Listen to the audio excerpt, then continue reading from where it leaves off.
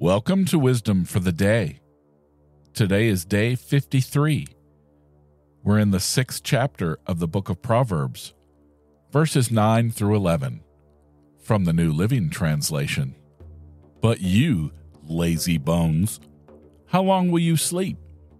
When will you wake up? A little extra sleep? A little more slumber? A little folding of the hands to rest? Then poverty will pounce on you like a bandit. Scarcity will attack you like an armed robber. So Solomon emphasizes that we need to not be lazy. When it's time to work, we must not sleep. In verse 9, Solomon asks the sleeper how long he's going to stay in bed. In verse 10, we hear what the sleeper thinks. He doesn't want to get up. But he needs to get up.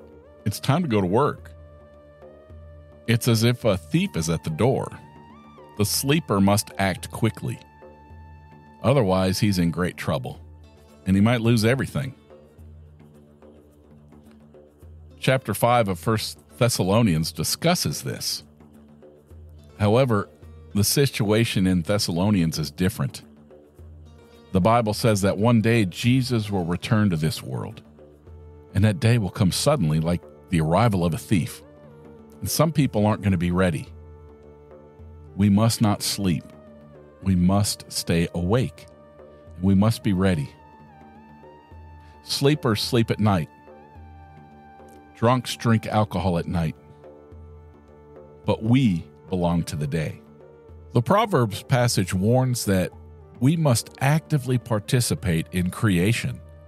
Some people sit and wait for fate or the force to work. They figure that fate will provide for them. If something doesn't happen, then fate didn't want it to happen. So why bother? In Psalm 8, we read verses 6 through 8 You have made people to have dominion over the works of your hands.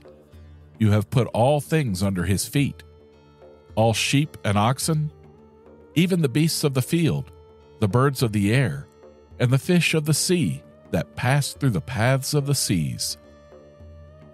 In other words, we should actively participate in God's creation and not sleep like a bum.